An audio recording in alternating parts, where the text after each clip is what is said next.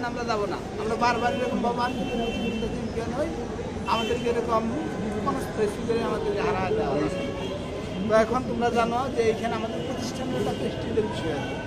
তোমরা যে প্রজেক্টগুলো এখন উপস্থাপন করছ, সবগুলাই অত্যন্ত ভালো।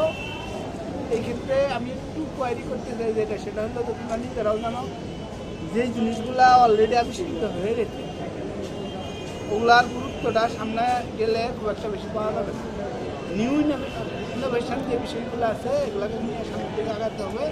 এখানে মন খারাপ করার কিছু নাই। তোমরা তোমাদের প্রজেক্টগুলো উপস্থাপন করছ, আমরা সব প্রজেক্ট দেখেই বিস্মিত হয়েছি আনন্দিত হয়েছি প্রলোভিত হয়েছি।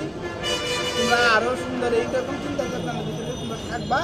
কিন্তু এই দশটার ভিতরে বেস্ট আমরা যেটাকে মনে করব বেস্ট সবাই মিলে দাও আমার ব্যক্তিগত এক আমি দেখা গেল যে এক প্রজেক্টে ফার্স্ট বানাইছি এই স্যারে আর এক প্রজেক্টে ফার্স্ট বানাইছি এরকমভাবে সম্মিলিত সবাই মিলে যে তিনটাকে সিলেক্ট করা হবে এগুলাকে আমরা আঞ্চলিক প্রতিনিধিত্বের জন্য পাঠাবো। এখানে তোমাদের শোনো এখানে তোমাদের কারও মন খারাপ করার কিছু নাই। এখানে আমাকে তোমাদেরকে চিন্তা করতে হবে প্রতিষ্ঠানের বিষয়টা ঠিক কি না জি স্যার। যে প্রতিষ্ঠান থেকে যে জিনিসগুলো এখানে প্রবেশ করে পাঠাবে এগুলো যাতে ভালো করে আসে সবাই সেই প্রত্যাশা নিয়ে একেবারে বসে থাকো না। এবার যদি তোমার প্রজেক্ট মূল্যায়িত না হয়, চেষ্টা করব আগামীবার যাতে তোমার প্রজেক্টটা এক নম্বরে চলে। এগুলো চিন্তা ভাবনার ভিতরে থাকবা দেখব দিন ইনশাল্লাহ একদিন সাকসেস হয়ে যাবে। ঠিক আছে? তো আজকে এই পর্যন্ত শেষ। তোমাদেরকে সবাইকে আবার আন্তরিকভাবে ধন্যবাদ জানাচ্ছি। যে প্রজেক্টটি থেকে আমরা ফাইনালি সিলেক্ট করব, তাদেরকে আমরা আবার ডাকবো। ঠিক আছে? ডাকার পরে এগুলোকে আবার আরও কীভাবে সুন্দর করা যায়, কীভাবে আকর্ষণীয় করা যায়, কীভাবে এই বিষয়গুলো তোলা যায়। এই বিষয়ে আমরা চূড়ান্ত চেষ্টা করব।